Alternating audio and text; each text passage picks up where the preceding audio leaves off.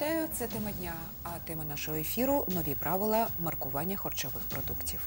Про що повинні знати споживачі щодо харчових продуктів, розповість наша сьогоднішня гостя в студії.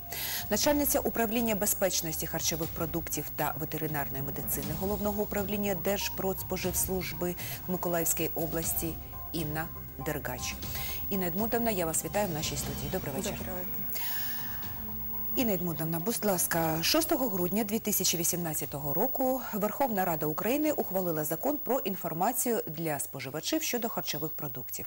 Закон набув чинності відразу після опублікування, але основна його частина, відповідно до прикінцевих положень, почала діяти через півроку, тобто 6 серпня 2019 року. До прийняття цього закону на чому базувались вимоги щодо інформування населення про харчові продукти?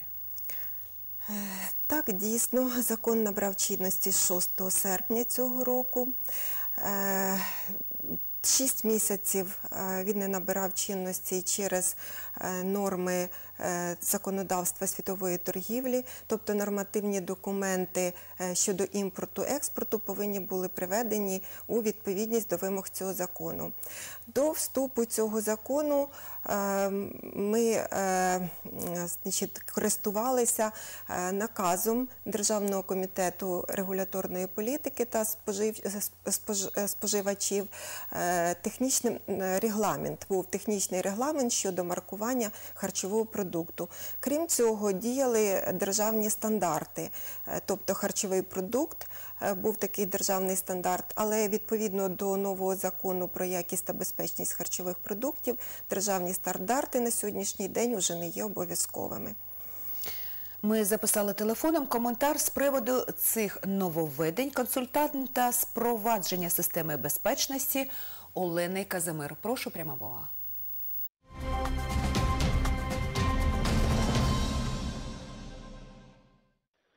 Вимоги, які запровадили в Україні, вже багато років застосовуються в Європейському Союзі до маркування харчових продуктів. Вони забезпечують високий рівень поінформованості споживача для безпеки його здоров'я і подають всю необхідну інформацію на етикетках про склад, про зміст продукту, про енергетичну цінність. Але для мене, наприклад, особливо те, що ну, мають маркувати алергени та вміст цукрів. Я на, наразі зараз працюю з підприємствою харчової галузі, допомагаю запроваджувати системи безпечності, або е, інколи їх називають системи ХАС. Це відповідно вимог до закону про основні принципи та вимоги щодо безпечності якості харчових продуктів. І в моїй роботі маркування готової продукції це такий один із етапів. Тому я знаю, що підприємства, з якими я працюю, це ну, закон, зміст е, закону України про інформацію м, для щодо е, харчових продуктів для споживачів. Він не новий. Вимоги викладалися в попередніх ДСТУ і нанопродукцію та в технічному регламенту. І здебільшого їх всі харчові підприємства вже опрацювали. Ті підприємства, які відповідально ставилися до своїх обов'язків, вони надавали якісну продукцію споживачеві, і вони вже опрацювали ці норми. Вони внесли всі зміни в етикетки, вони визначили, який необхідний шрифт, е, термін придатності, адреси, потужність виробництва, все, що необхідно, навіть ГМО. Великі потужності можуть мати змогу за відповідні кошти до регіональних відділів, е, наприклад, е, торгової промислової палати і щодо аналізування етикеток. Але малі підприємства такі, ну вони повільно виконують такі вимоги і не можуть звернутися. Наприклад, навіть хороше підприємство з малих е, харчових, вони на етикетці пишуть вміст е, ГМО, що ГМО немає, да, без ГМО. Але коли я прошу надати мені протоколи випробування, їх немає. Ну от, от е, така проблема існує. Е, Ще були е, декілька років тому такий приклад на молочно-переробному підприємстві, коли ми знайшли неправдиві дані і декілька етикеток е, з на, на цей самий товар, але з іншою торговою маркою, іншою адресою потужністю виробництва. Тобто надалі ми таку продукцію не пропустили, але ну вона могла попередньо бути на, на роздрібній торгівлі. То цей закон він я дуже вважаю, що він необхідний маркувати не е, потрібно, але з ним пов'язано багато дуже е, невідкладних заходів, які має і теж про споживслужба працювати. І я сподіваюся, що е, такі махінації з е, маркировкою, етикеткою будуть виявлені, і ми зможемо більш якісну продукцію споживати.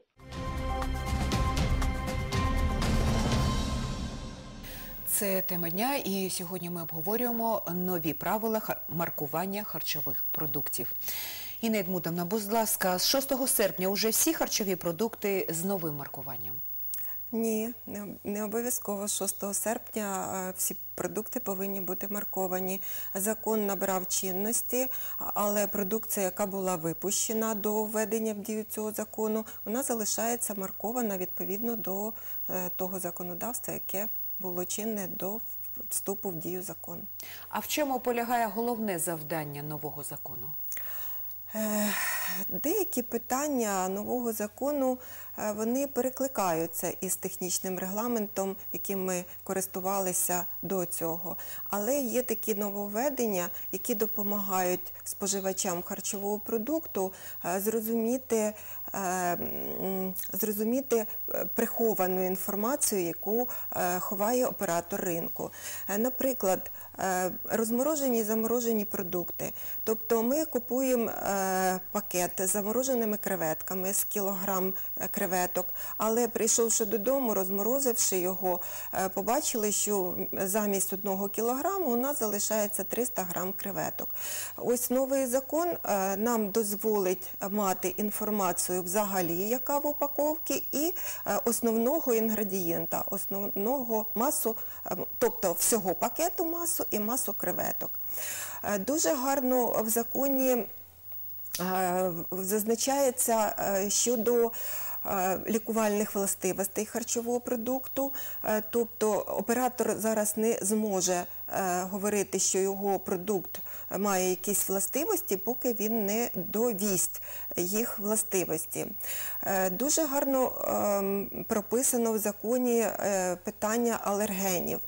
Е, Тобто, якщо в складі е, харчового продукту містяться алергени, то е, са- сам інгредієнт і алергени розміщуються е, на маркуванні. А скажіть, будь ласка, на кого поширюється дія цього закону? Дія цього закону поширюється на операторів ринку харчового продукту, тобто на виробників, на е, операторів ринку, які реалізують дану продукцію, також на е, громадське харчування теж поширюється дія цього закону. І е, коли виробники чітко знали, що е, продукція е, маркується і на упаковці є маркування, то до цього, прийшовши в ресторан, в кафе, ми не помогли побачити всіх складових даного продукту. І також поширюється дія цього закону на сам харчовий продукт і на нас, споживачів. Ми чітко бачимо, е, прослідковуємо всю інформацію, яка може вплинути на стан нашого здоров'я і дасть можливість захистити наші права. А що споживач має знати про харчовий продукт? Е, е, Харчовий продукт повинен бути маркований. Е, Це обов'язково? Обов'язкова норма. Е, Значить, маркування може бути виражено словами, е, символами, знаками, графічними зображеннями, і від, все це відображатися на етикетці. Етикетка може бути етикетка, кольоретка, стікер.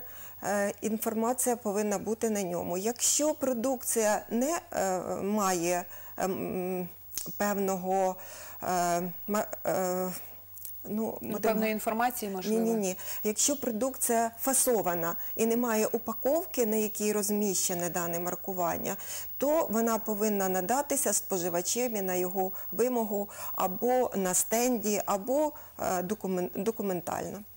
А що входить ще у обов'язкову інформацію? Е, До е, обов'язкової інформації, яка повинна міститися на харчовому продукті, е, по-перше, воно наноситься українською мовою. І якщо того ще хоче виробник продукції, може бути інша мова. Крім цього, інформація повинна бути чітка, вона розбірлива, зрозуміла і не повинна вводити споживача в оману. Е, Повинна бути назва харчового продукту, вона е, повинна відповідати нормативному документу. Е, Якщо нема нормативного документу, то вона повинна не вводити споживача в оману. Вона повинна носити ту назву, яку споживач привик чути. Е, Крім цього, е, фізичний стан харчового продукту повинен бути розміщений на е, маркуванні, тобто заморожений, копчений, напівкопчений, варений, сублімований. Фізичний, ну, фізичний стан тобто, цього продукту. Крім цього, повинен бути відображений ем, оператор ринку відповідальний за цей харчовий продукт. Е, Також е, на харчовому продукті повинен бути перелік інгредієнтів цього харчового продукту. Ну, він і раніше був цей перелік інгредієнтів, але ці інгредієнти повинні йти на маркуванні з меншенням е, його кількості. Тобто, якщо е, на, е, в колбаса е, основна складова е, м'ясо, то перше повинно йти м'ясо. Якщо там буде м'ясо мех- мехобвалки в якомусь зменшеному відсотку, то м'ясо об- мехобвалки. Тобто процент зменшується. Е, Крім цього, е, обов'язково ми вже говорили з вами про наявність алергенів. Алергени вони е, повинні виділятися е, окремим шрифтом або кольором, або курсивом іншим. Тобто алергени це перш, е, перше, що повинен побачити споживач е, біля назви харчового продукту. Е, Крім цього, повинно може зазначатись, повинно зазначатись е, м, інгредієнт, який е, імпортного походження. Якщо виробник українець, да, України, там Миколаївська область, е, оператор ринку, але він використовує м'ясо е, бразильського походження, то біля слова м'ясо він повинен вказати країну, з якої імпортована дана сировина. А якщо не вкаже?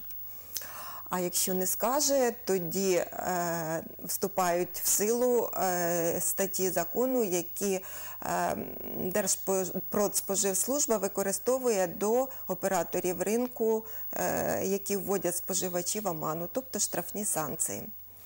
А скажіть, будь ласка, яким чином можна визначити, скільки м'яса у ковбасі? Це ми побачимо на маркуванні.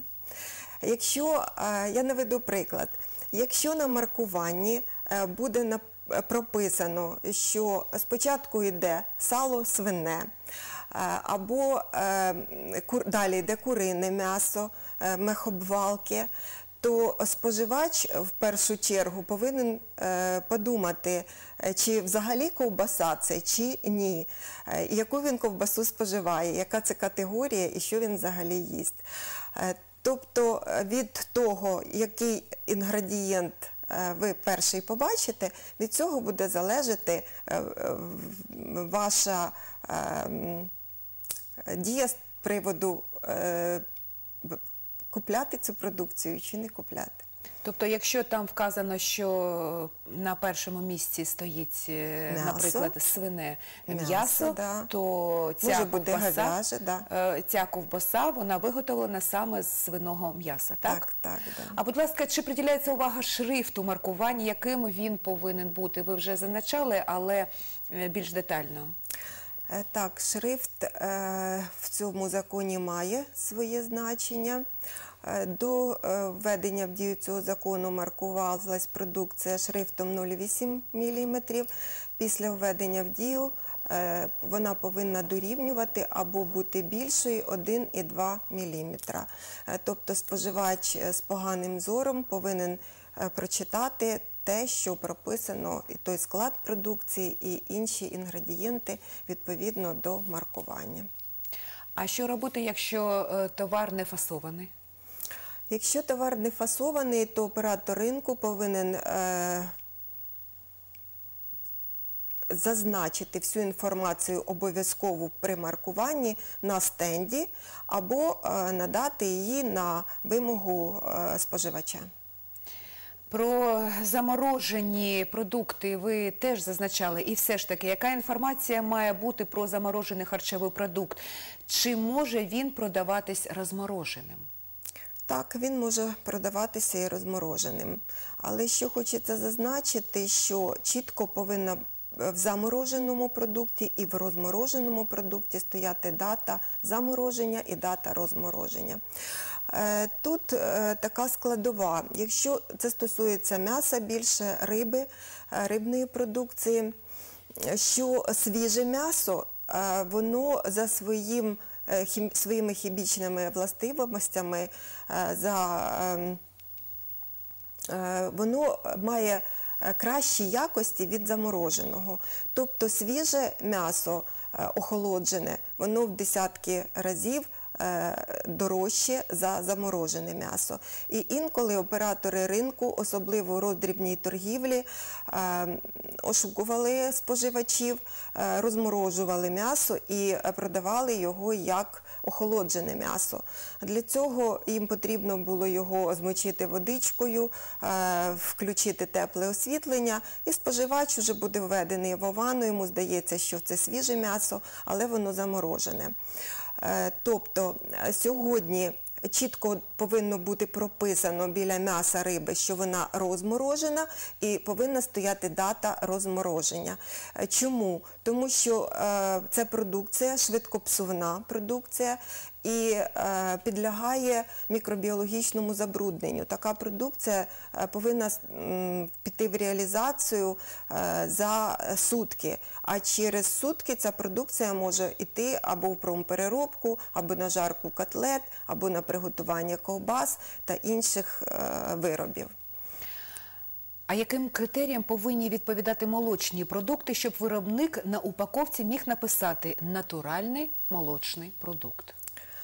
Е, Ну, я е, хотіла зауважити, що у нас в Україні на сьогоднішній ем, день дуже багато операторів ринку, які е, додають до інгредієнтів молочної продукції рослинні жири. Це і масло, і сметана, і морозиво, і тверді сири. Тому для того, щоб виробник прописав натуральний продукт, він чітко повинен показати, що там основний інгредієнт молоко, і в складі в сировині нема штучних е, інгредієнтів, в інших інгредієнтах нема е, добавок штучних інгредієнтів. Це все повинно відслідковуватись і е, бути промаркованим. Ми поцікавились, наскільки новими є ці правила для одного з миколаївських виробників харчових продуктів. Коментар директора з якості молокопереробного підприємства Лариси Великої. Прошу.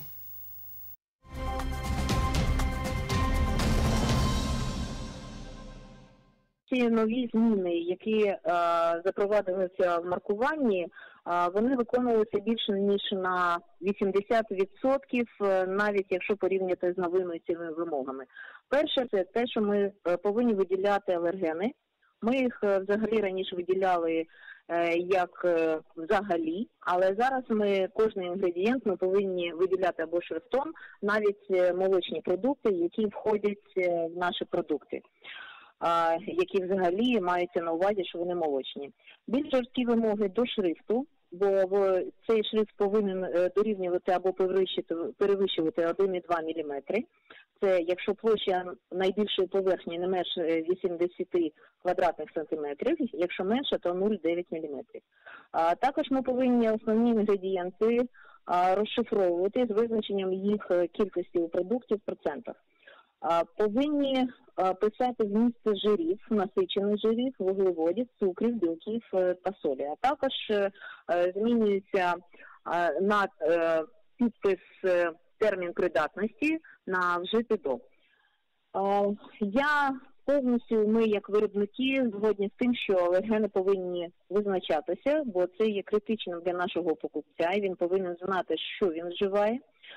Також дуже добре, що з'явилися нові вимоги до е, висоти і визначення шрифта, але для нас це е, трохи складно, бо інформації дуже багато, і е, цей ну повинно ми повинні вмістити дуже багато інформації, а ще й в прив'язки до його розміру. Також дуже добре, що розшифровуються інгредієнти. Це дає е, змогу споживачу краще знати, що, що є в нашому продукті, і це покращує його визначення, чи покупати чи ні цей продукт. Особливо це стосується для коли покупець купляє цей продукт для дітей. Те ж саме можна сказати про цукор, вуглеводи, білки та соль. Розшифровування жирів дає змогу покупцю зрозуміти, який е, саме використовується жир, але з приводу цього в мене залишається питання, наскільки середньопересічний громадянин володіє знанням взагалі, чим відрізняються насичені та ненасичені жири і що є кращим. Але е, якщо підсумувати, я дуже ми всі е, раді з тим, що ці вимоги з'явилися. Я вважаю, що це дає змогу покупцю бути більш обізнаним про наші продукти в цілому.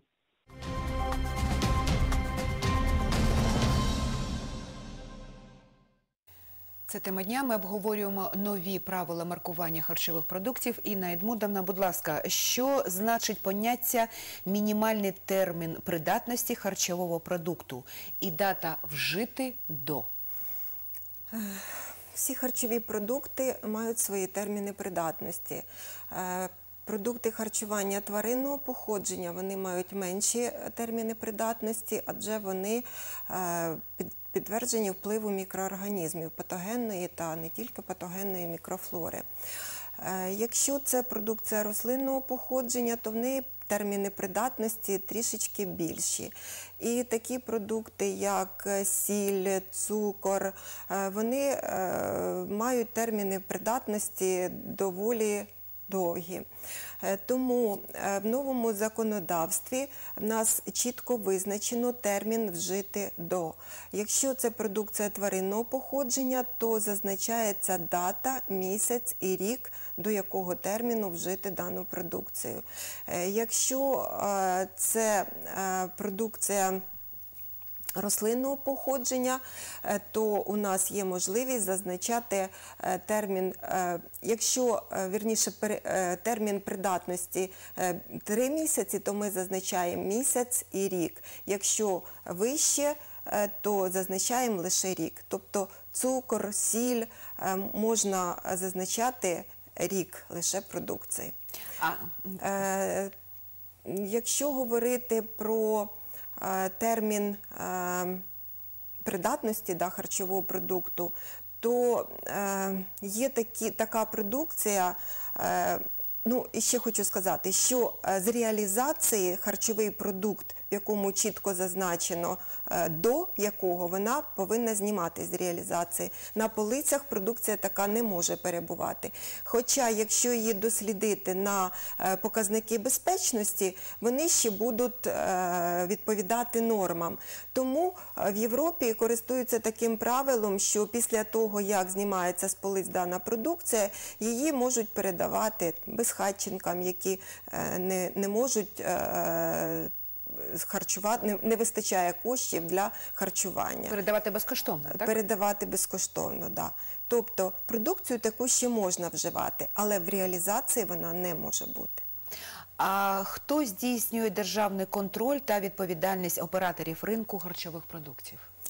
Е, За е, контроль за операторами е, ринку харчових продуктів здійснює Держпродспоживслужба, тобто її територіальні підрозділи, головне управління Держпродспоживслужби. Цим законом передбачені штрафні санкції до оператора ринку. Е, І ці штрафні санкції вони поділяються е, на е, дві такі підгрупи. Якщо е, інформація недостовірна, е, то е, трошки менше штрафні санкції, як на юридичних, так і на фізичних осіб. Якщо інформація щодо алергенів, е, лікувальних властивостей і людина захворіє після вживання такої продукції, то ці штрафні санкції е, значно вищі. і е, для юридичних осіб вони складають до 150 тисяч гривень. Інна Едмундовна, у нас залишилась хвилина, а ви ще хотіли звернутись до операторів ринку. Одна хвилина, будь ласка. Е, Да, шановні оператори ринку, е, у нас з 2017 року діє закон про безпечність харчового продукту, е, і я б хотіла звернути вашу увагу на деякі норми цього закону. Е, Пункт 8 статті 20 зазначає, що оператор ринку не має права приймати продукцію від оператора ринку, який не зареєстрований в Держпродспоживслужбі або не отримував експлуатаційного дозволу на вироблення даної продукції, а також не має права впускати таку продукцію в обіг або виробляти, е, включати як інгредієнт до виробництва своєї продукції. Крім цього, статтею 22 закону про безпечність передбачено прослідковуємість. Тобто кожний оператор ринку повинен прослідкувати крок назад і крок вперед, звідки надійшла від якого оператора ринку дана продукція і куди вона направлена. Ця інформація повинна зберігатись в операторів ринків протягом 6 місяців після закінчення дати вжити до продукцію. І останнє питання, на якому хотілося б загострити увагу, це е, використання операторами ринку е, внутрішнього контролю, тобто застосування системи ХАСП, які е, діють у нас з 2018 року. Оператори ринку, які здійснюють виробництво продукції тваринного походження, в 2018 році в 19-му рослинного походження і з 20 вересня цього року малі підприємства теж повинні е, здійснювати виробництво відповідно до системи ХАСП. Спасибі, Інна Едмундовна. Це була тема дня. Про нові правила маркування харчових е, продуктів розповідала Інна Дергач. А на сьогодні все. Якою буде наступна тема, підкаже наступний день. На все добре.